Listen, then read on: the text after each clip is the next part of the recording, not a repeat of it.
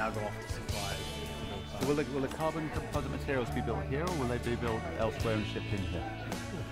This is a spaceship factory. This is a place that's going to build spaceships. Probably bad.